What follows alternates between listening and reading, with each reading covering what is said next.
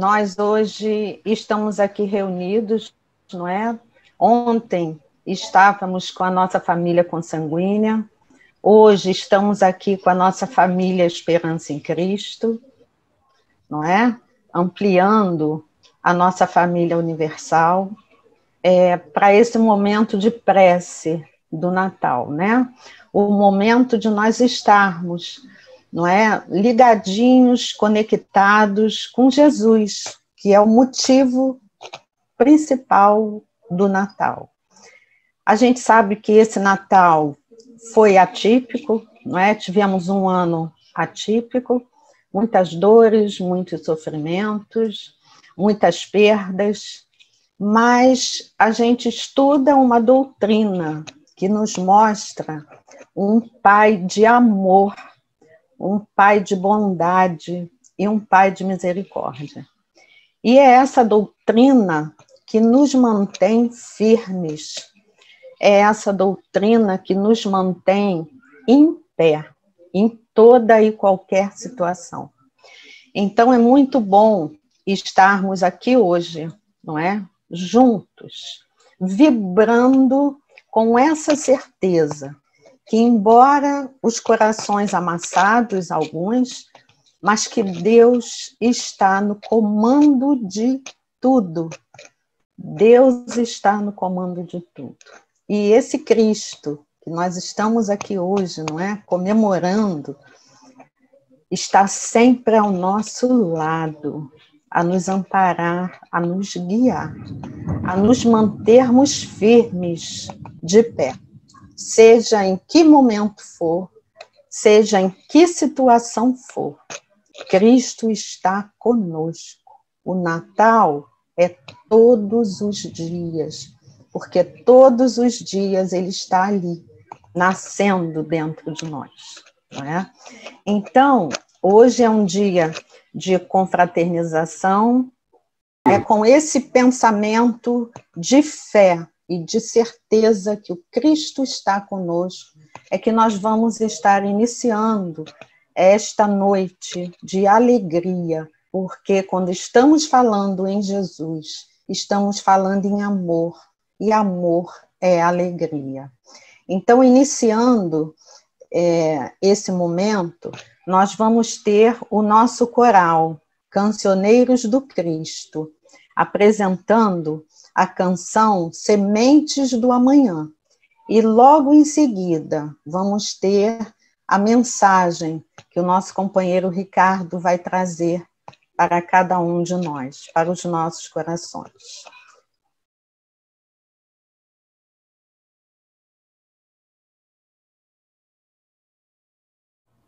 Cancioneiros do Cristo, Sementes do Amanhã de Gonzaguinha.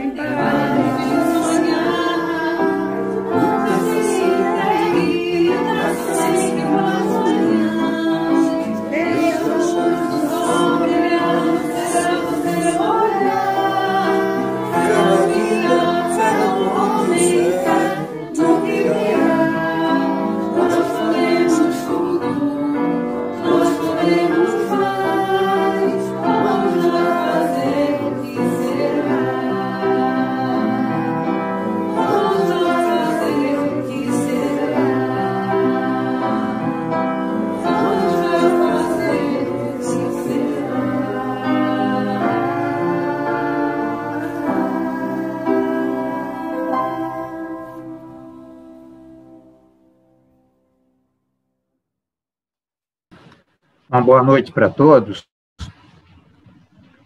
É, é bom, né, nós nos encontrarmos aqui hoje, né, nesta noite. E agora, nesse instante, primeiramente, em meu nome, em nome de todos os companheiros, trabalhadores de nossa casa, médios, todos os voluntários, né, nossa diretoria, nossa presidente, Guacira Nunes, Quero renovar as boas-vindas a todos que estão presentes. E hoje, nesse instante, nós vamos procurar manter uma sintonia harmoniosa através do nosso pensamento, nossos sentimentos, nossas emoções, na comemoração dessa data, né, que é o aniversário de nosso irmão maior, aquele filho mais amado de Deus, né? Aquele que veio nos trazer a mensagem mais profunda do amor incondicional de Deus, né? E ele, sendo assim, é o nosso exemplo, é o nosso nosso guia, é todo o modelo daquilo que nós devemos procurar seguir. E hoje, na consideração do seu aniversário, que a gente possa ver esse irmão, né, que é o Cristo Jesus, ver na, como um menino Jesus, na manjedoura. E de lá que ele possa, que ele possa, assim, irradiar sua luz, e nesse momento de tantas aflições, aí a, as enfermidades trazendo tantas aflições, especialmente no que se refere essa situação da pandemia, que essa luz possa alcançar os corações de todos que estão passando pelo momento do sofrimento. Pela própria doença, pela doença dos, dos parentes, dos amigos, dos, dos entes amados, e pelo desencarne né, desses entes queridos, que sabemos que não, não estão se perdendo, eles passam a atuar em outro plano. Mas, na verdade, fica a saudade. E a saudade a gente sabe que dói, né? Mas Jesus há de ser o consolo a todos que estão passando por esse momento. É, eu vou fazer a leitura de uma mensagem que eu espero que seja uma mensagem de todos nós e para todos nós. Antes disso, eu quero só é, parabenizar o, o nosso coral, porque esse é um grupo que tantas vezes passa desapercebido. Mas nós sabemos que ele tem uma, uma importância fundamental na nossa casa. Porque a vibração da alegria dos componentes desse grupo é muito grande. E essa vibração vem também na harmonia musical que eles exercitam a todo tempo. Isso contribui de uma maneira significativa com a harmonia da vibração de nossa casa. Parabéns ao coral, sabemos que vão apresentar outras músicas, e sempre que houver oportunidade, nós esperamos contar com a presença de vocês. Bom, nós vamos à, à leitura. Eu vou ver se eu, se eu faço o compartilhamento da tela daqui, tá? Vamos lá. Essa que seja a nossa mensagem da noite de hoje. Natal de 2020. Caros amigos e amigas do nosso querido Grupo Espírita Esperança em Cristo. Num ano atípico para toda a humanidade, tivemos todos que descobrir e redescobrir nossos potenciais de autossuperação e de superação das circunstâncias que, em geral, não previsualizamos em nossas vidas.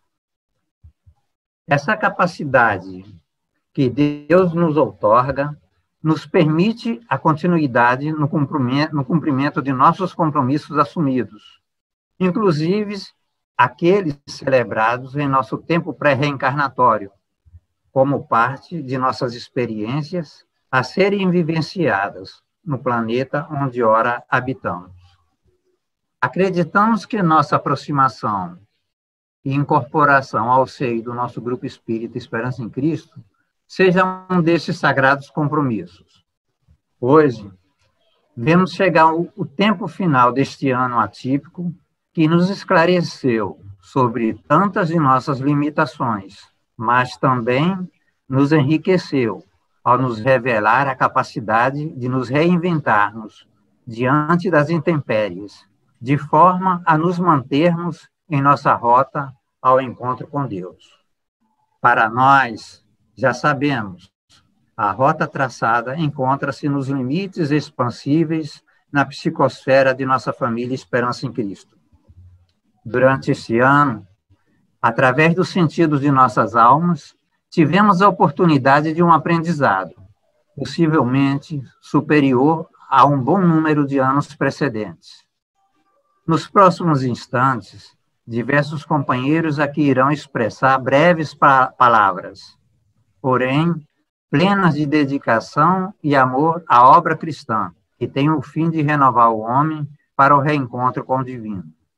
Serão palavras inspiradas em sentimentos primorosos e essenciais a todos aqueles que se dispõem a servir à obra de Jesus. Portanto, nossa gratidão a Deus por nos colocar nesse caminho, a Jesus que nos concede a luz que ilumina o caminho que devemos seguir, a todos os trabalhadores, médiums, amigos, simpatizantes e apoiadores de nossa querida instituição, que se coloca como mais um ponto de encontro luminoso aberto aos que amam a Jesus. Devemos ser gratos também àqueles a quem falta a compreensão dos valiosos preceitos da doutrina codificada por Allan Kardec, segundo as diretrizes trazidas por espíritos elevados, a quem nosso Pai Maior outorgou essa missão, pois esses companheiros de jornada nos concedem valiosa contribuição para a sedimentação de nossas convicções. Gratidão especial a todos os companheiros do plano espiritual que de lá atuam como dirigentes, coordenadores, orientadores, socorristas, terapeutas, a grande maioria agindo anonimamente, na simplicidade, na humildade e na expansão amorosa plena.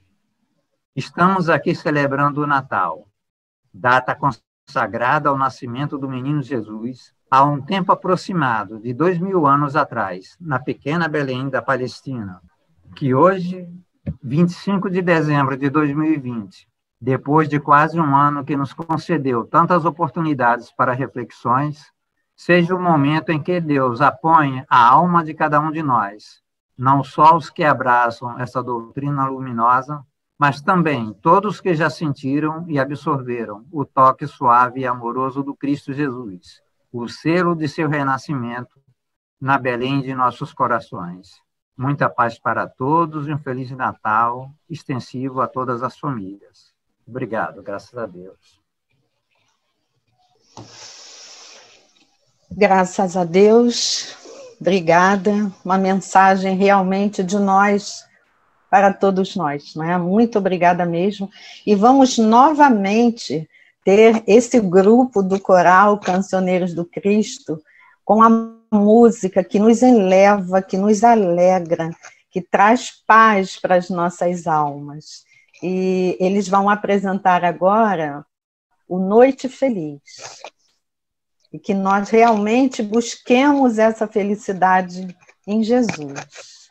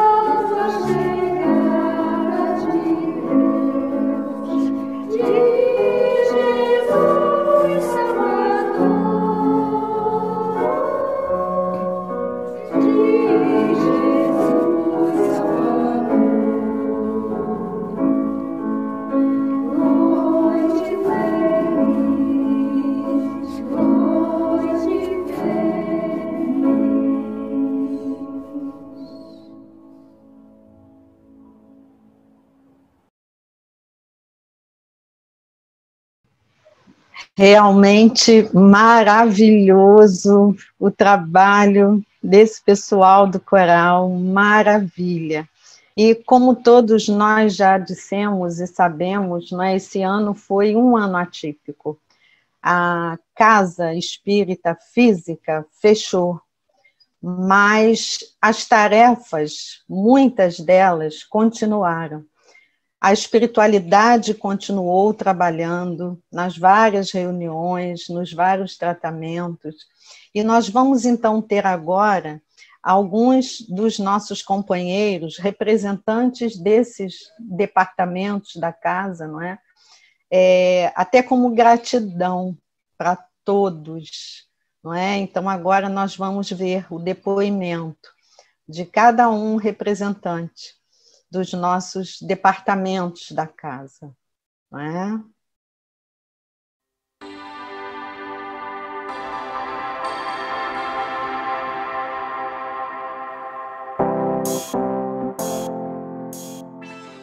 noite a todos. É com muita alegria que estamos aqui reunidos nessa noite de Natal no Grupo Espírita Esperança em Cristo.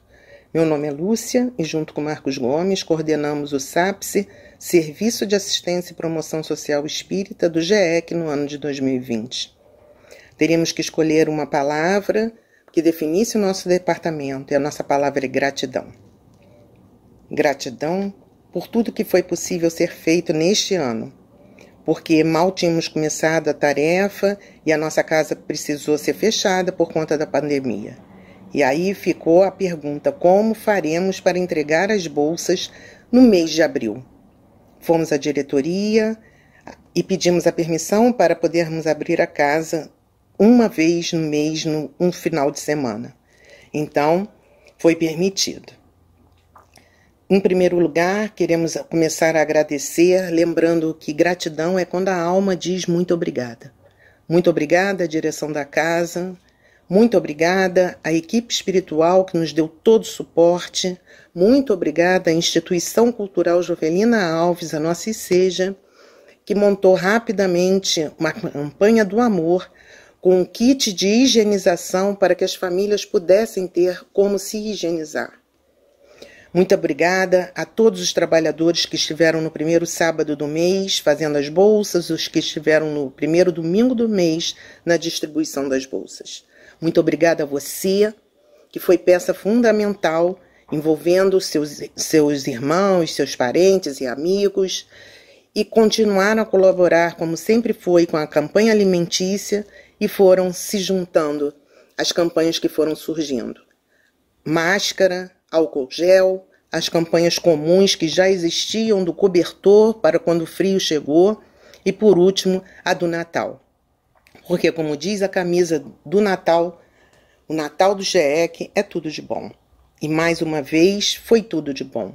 No último dia 6, entregamos a mais de 100 crianças os seus kits de Natal, com presente, com roupa e sapato.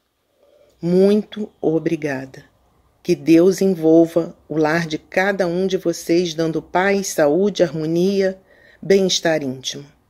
Porque vocês entenderam a mensagem que essa pandemia quis trazer, que é lembrarmos uns dos outros, é movimentarmos o amor que existe em nós e deixar a caridade favorecer o próximo.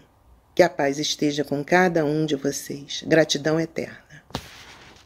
Boa noite a todos. Sejamos todos muito bem-vindos ao Grupo Espírita Esperança em Cristo. Nessa noite especial, na noite que, do nascimento do nosso guia modelo, Jesus Cristo. É, estou aqui representando o grupo mediúnico da casa. E sabemos que com essa pandemia nós não paramos, continuamos com, com o nosso trabalho, com o grupo mediúnico, com as palestras, levando auxílio a todas as pessoas que precisavam, levando uma palavra de carinho, uma palavra de ânimo. Não perdemos as nossas esperanças e continuamos os nossos trabalhos graças à tecnologia, graças à reunião de amigos, graças ao esforço mútuo né, de uma equipe. Nós só temos realmente que agradecer e falar que não perdemos a esperança em momento nenhum. Sempre tivemos esperança de conseguir alcançar os nossos objetivos enquanto médiums, enquanto grupo mediúnico. Por isso, eu tenho uma mensagem que não tem autor. Eu vou pedir licença para vocês porque eu vou ler, tá bom? E ela traz a seguinte mensagem: Sabe qual é a melhor definição de esperança? Esperar com fé. Esperar que os sonhos se realizem apesar dos contratempos. Esperar com paciência, mas não esperar parado. A esperança é o que nos faz, em meio à tempestade, abrir o nosso guarda-chuva colorido. A esperança é ver apenas pequenos pontos de luz na escuridão, mas deixar-se iluminar por completo. A esperança é ter forças para tentar outra vez, mesmo quando o mundo lhe diz para desistir. Ter esperança é ter coragem de criar expectativas positivas. É pensar que sempre haverá uma saída. É saber que não há mal que dure para sempre. Quem tem esperança sabe que a qualquer momento coisas boas podem acontecer. É o impossível se tornar possível porque somente no coração em que há esperança acontecem milagres. Manter a esperança viva é a maior prova que uma pessoa pode dar a si mesma.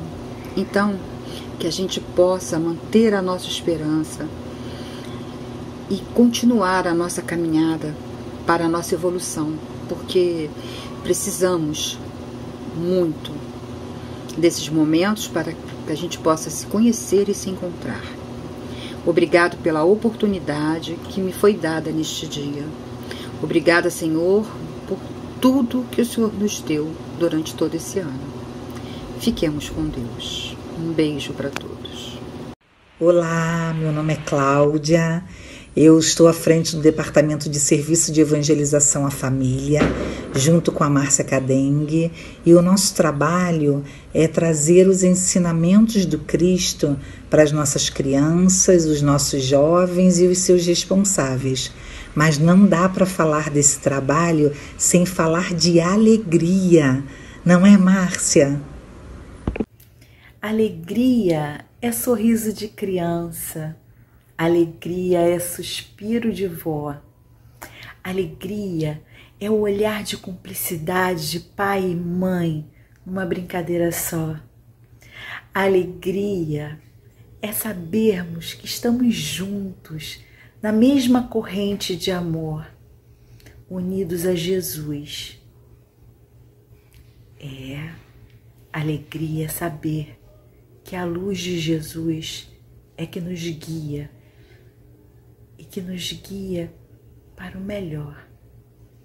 Que possamos estar juntos na mesma corrente de alegria e de fé. Que possamos estar juntos na mesma corrente de amor. Eu me chamo Celiana e estou aqui representando o grupo de eventos do GEC. Então, nós estamos aqui para agradecer a todos que estiveram conosco esse ano e nós vamos usar uma palavrinha chamada cooperação. Vamos falar um pouquinho a respeito dessa palavra. Cooperação é uma ação conjunta para uma finalidade, um objetivo em comum.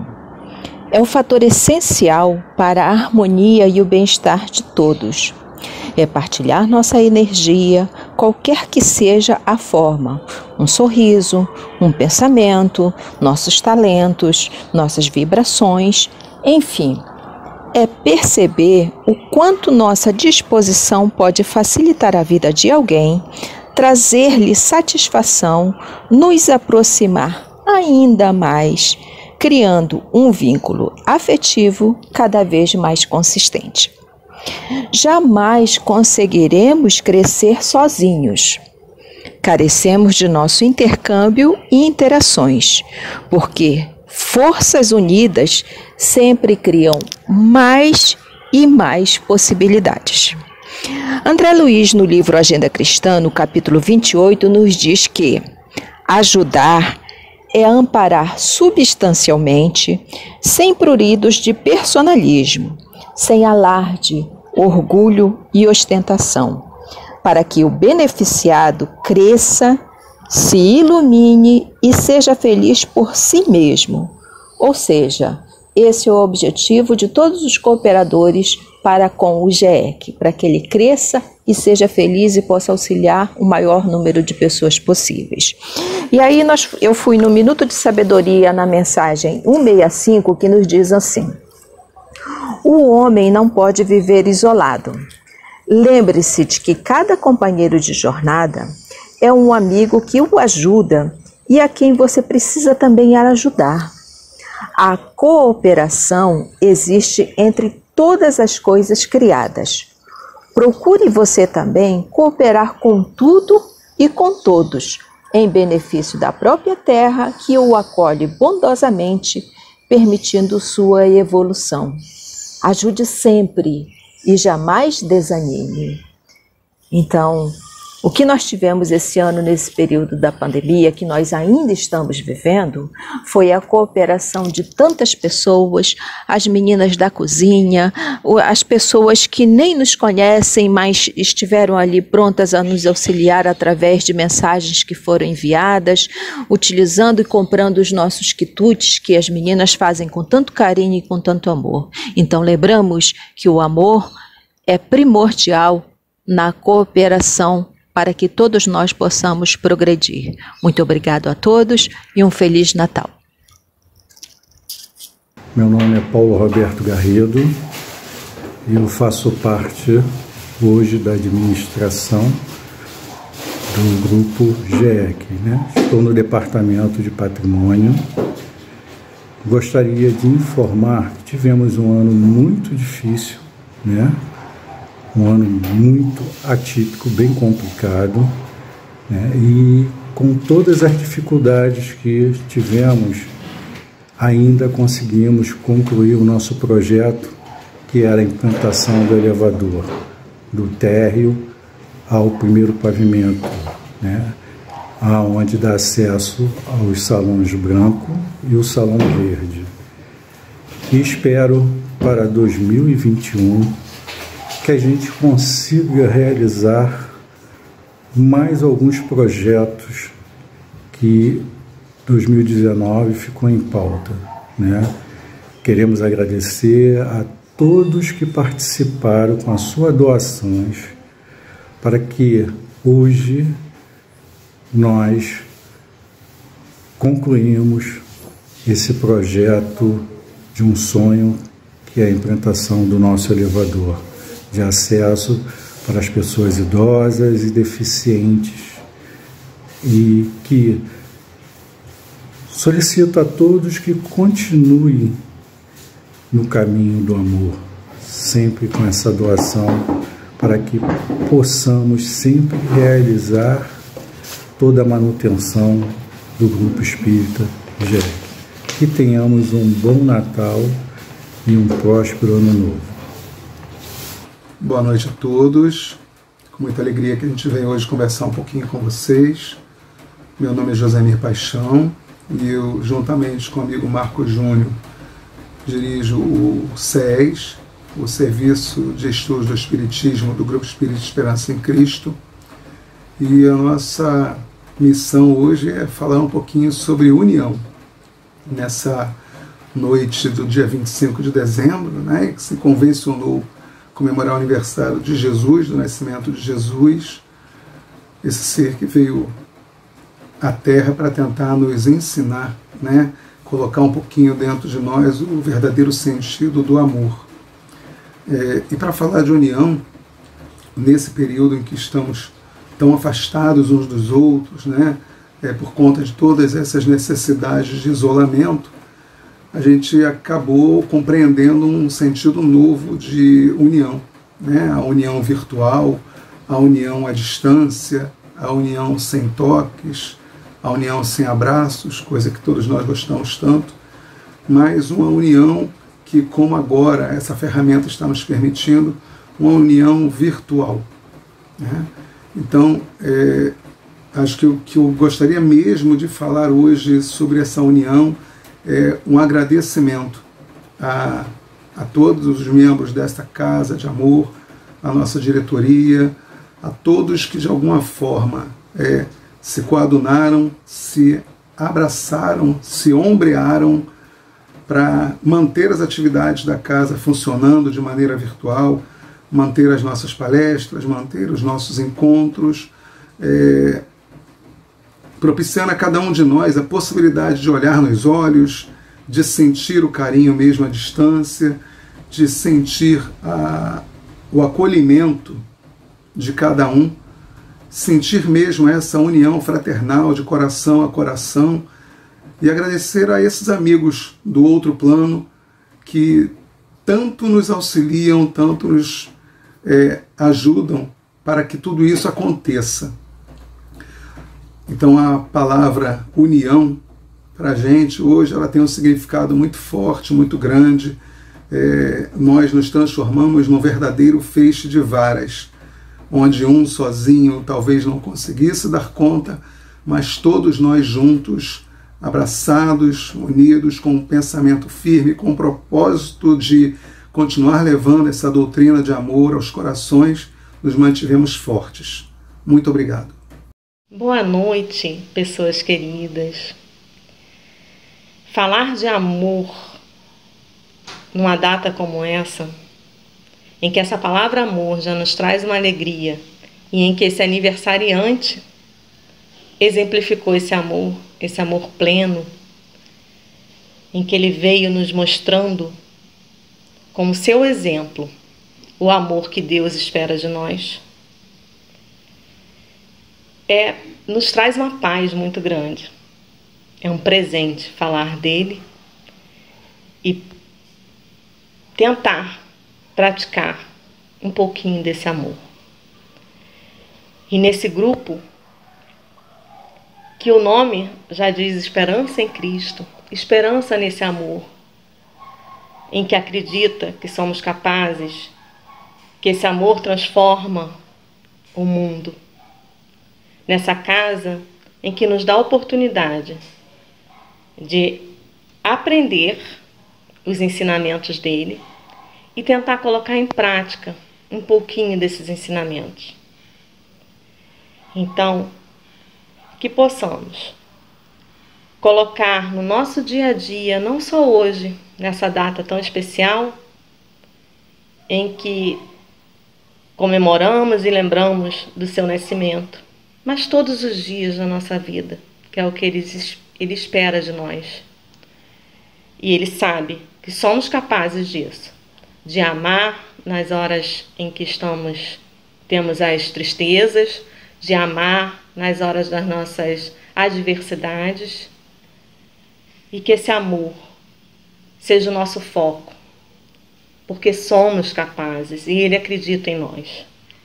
Então, que possamos doar, ser o nosso presente, esse amor, que sabemos que ainda estamos aprendendo, mas que se colocarmos em prática um pouquinho todos os dias, logo, logo chegaremos no nosso destino, que é esse amor pleno, que Ele confia e acredita em nós.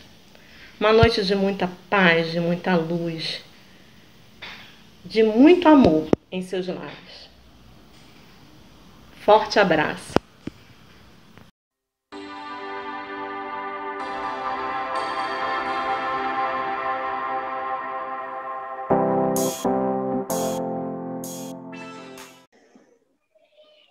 É, meus amores, como temos que agradecer, porque no meio de uma pandemia, Deus não nos faltou, a espiritualidade amiga não nos faltou, porque não faltou no coração de nenhum de nós, trabalhadores, colaboradores, a gratidão, a esperança, a alegria de estar no, na tarefa, a cooperação, o cuidado com as atividades da casa, a união, como isso foi tão e é tão importante.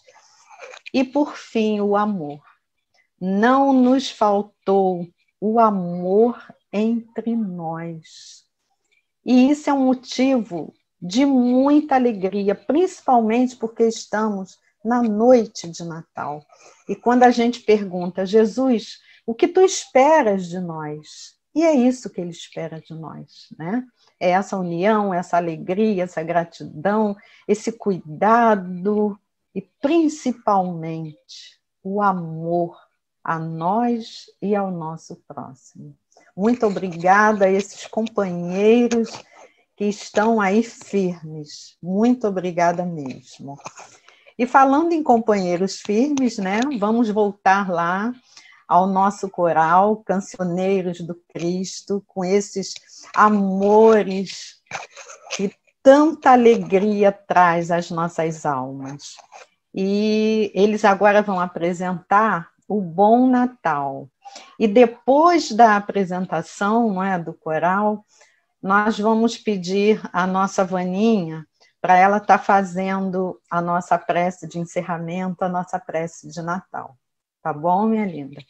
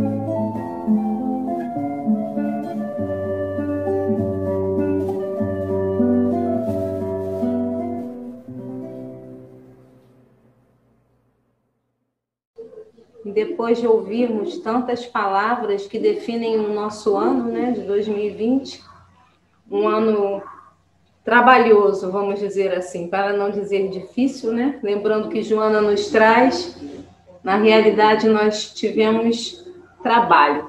E eu acho que foi esse trabalho que conseguiu nos manter em equilíbrio.